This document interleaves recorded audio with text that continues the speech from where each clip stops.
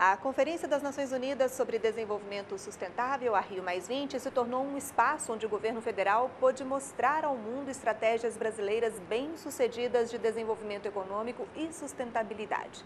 Para saber, por exemplo, como a Embratur tem atuado nessas questões, eu converso com o presidente Flávio Dino. Obrigada pela sua participação conosco no NBR Entrevista. Um prazer estar aqui. Bom, ah, quando a gente fala em turismo, e ali o turismo, o turismo sustentável, que exemplo que o Brasil pode dar nesse aspecto em relação às ações desenvolvidas? Nós, nós somos um destino turístico reconhecido hoje pelas suas múltiplas vocações, entre elas está, por exemplo, o turismo ecológico, o turismo de aventuras. Há hoje uma preocupação nossa de diversificar a imagem do Brasil no exterior e, por isso, habilitar novos destinos e novos produtos.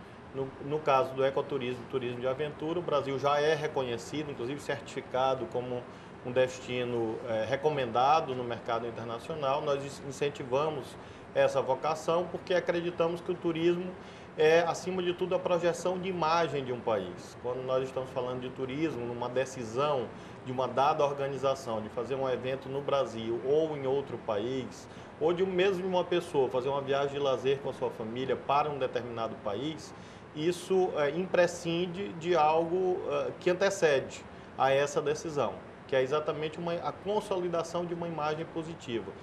Naturalmente, hoje, nesse mundo marcado por tantos conflitos, é, infelizmente, ciclos de pobreza permanecem, de poluição, de destruição de valores fundamentais para a humanidade, na medida em que o Brasil, em contraposição a esse ciclo de destruição, apresenta uma fonte uma matriz energética eminentemente renovável, remarca, sublinha a sua preocupação com o meio ambiente, consegue reduzir ah, de modo inclusive recorde ah, o, o desmatamento da Amazônia.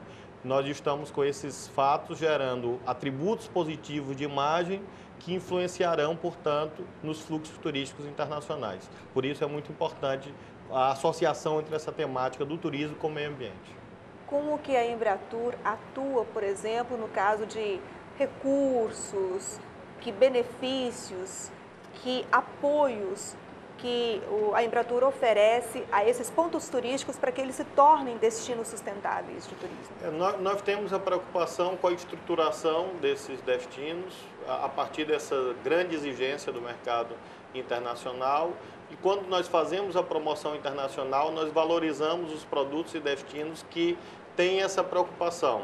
Então, quando nós fazemos, por exemplo, um edital de apoio à captação de eventos, à promoção de eventos, edital de apoio à captação de novos voos, de voos fretados, quando nós apoiamos os estados os municípios, nós sempre realçamos este aspecto, porque há um conjunto de políticas do turismo que levam a esse conceito de sustentabilidade. Por exemplo, quando da classificação da rede hoteleira, além da estruturação do, do, do, dos equipamentos do hotel, além da qualidade dos recursos humanos, é, é, valorizada também a sustentabilidade. Então, nós temos várias políticas que vão desde a estruturação à promoção internacional e medidas é, relacionadas ao turismo interno, tomadas pelo Ministério do Turismo, que induzem os empreendedores privados a, nos seus investimentos, priorizarem também a compatibilidade entre o funcionamento desses equipamentos e a proteção ao meio ambiente.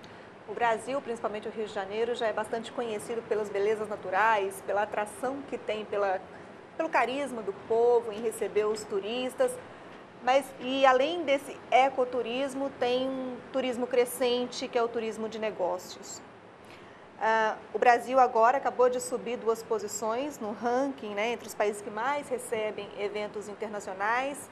A Rio Mais 20 é uma oportunidade do Brasil mostrar essa capacidade de receber esse tipo de turistas. Que análise que o senhor faz do trabalho do Brasil em relação a esse aspecto de ações desenvolvidas para atrair e manter o turismo de negócios em alta? Nós estamos vivendo um ciclo virtuoso e há um ranking internacional que mensura as posições do Brasil. Nós hoje somos a sétima nação que mais promove eventos internacionais no mundo.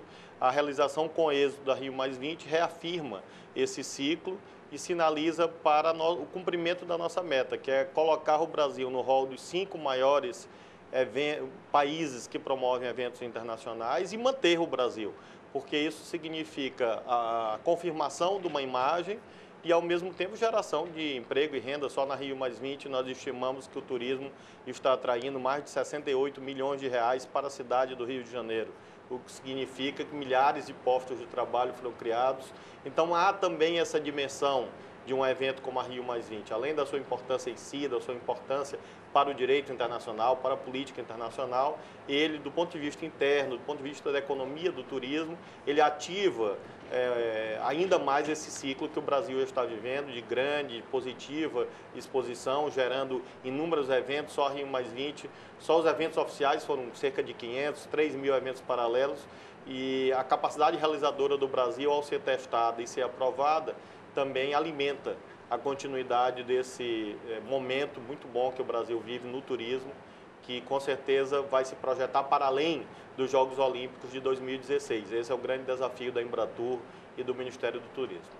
É até um bom exemplo para se avaliar onde estariam, por exemplo, as necessidades principais justamente para os próximos eventos internacionais que estão por, por, acontecer, principalmente aqui no Rio de Janeiro. É, nós não podemos ter uma visão ufanista, uma visão ingênua de que é tudo perfeito. Não é no Brasil e não é em nenhum país do planeta.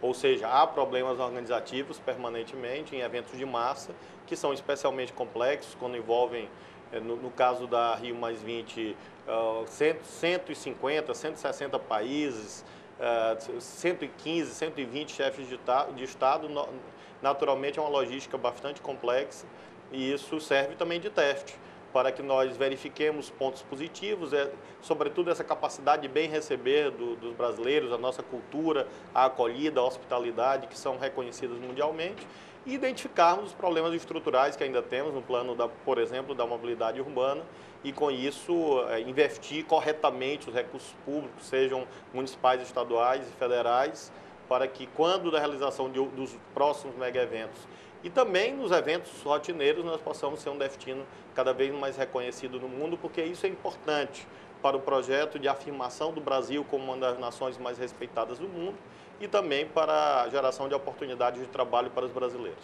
O senhor disse aí a questão dos recursos. Quanto que a Embratur está investindo esse ano justamente na promoção da preparação para que aconteçam esses eventos da forma como eles devem acontecer?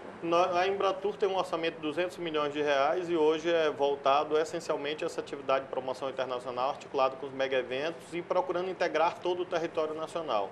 Nós temos eventos relacionados com a Copa, estamos presentes, presentes na Rio Mais 20, seja na parte organizativa, seja no atendimento aos turistas, em parceria com o Ministério do Turismo. E vamos continuar a fazer isso nas Olimpíadas de Londres agora, quando vamos lançar nossa nova campanha publicitária.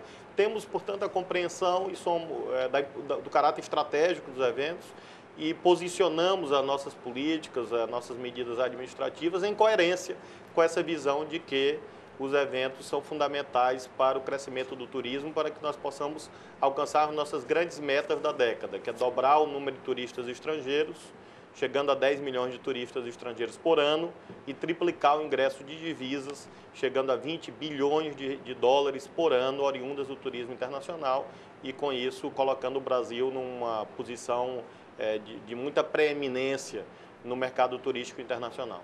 Como que é a relação da Embratur na questão de atrair um novo mercado, por exemplo, em relação ao turismo de negócios ou ao turismo de lazer, com a América Latina e com, por exemplo, o resto do país, do, do mundo? É, em relação à América Latina, nós temos uma visão hoje muito especial, porque a teoria do turismo mostra que os fluxos turísticos são mais intensos é, nas fronteiras, o chamado turismo de proximidade, é assim na Europa, no Sudeste Asiático, ou, por exemplo, no México em relação aos Estados Unidos.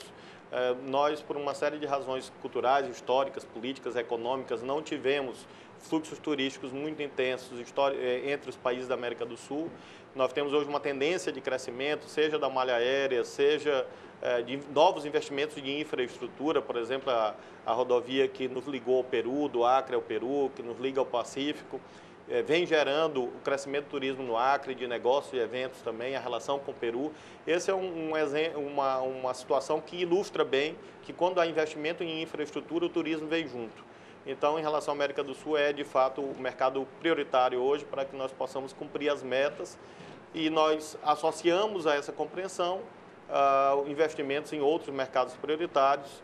Nós temos, eh, nesse ano de 2012, ah, a busca de, de uma fatia mais expressiva do mercado do México e do Canadá, com prioridades, além dos 15 maiores mercados emissores uh, para o Brasil, que, que, nós procuramos consolidar e ampliar com esses novos mercados. Então, nós temos uma, uma tática comercial, é, seja de consolidar esses mercados que são mais promissores e, ao mesmo tempo, prospectar mercados novos, como do México do Canadá, e o mercado oriundo dos BRICS, porque nós temos uma, uma, hoje uma grande afinidade política, é algo que se coaduna, inclusive, com a nossa política externa.